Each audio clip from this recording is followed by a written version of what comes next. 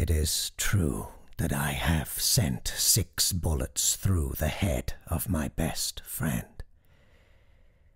And yet, I hope to show by this statement that I am not his murderer.